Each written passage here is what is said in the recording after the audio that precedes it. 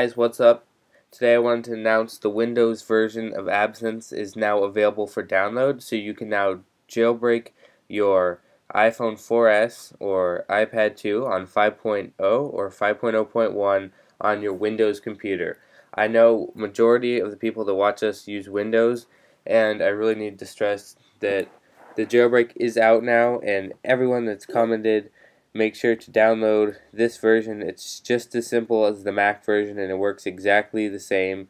If you get confused, you can use our tutorial we used we made yesterday. And that's pretty much it. Just wanted to announce that the download is available and the link is in the description. And the second thing I wanted to do is announce something. So a few weeks ago we announced our PlayStation Vita giveaway and we wanted to extend this to our iPod Uplink channel along with our secondary channel because we haven't had much time to post videos on our secondary channel. So if you would like to win a PlayStation Vita brand new on release day, we'll end the giveaway a week before the release, which is around in the February, um, I believe like 14th or around there. That's when the giveaway will end.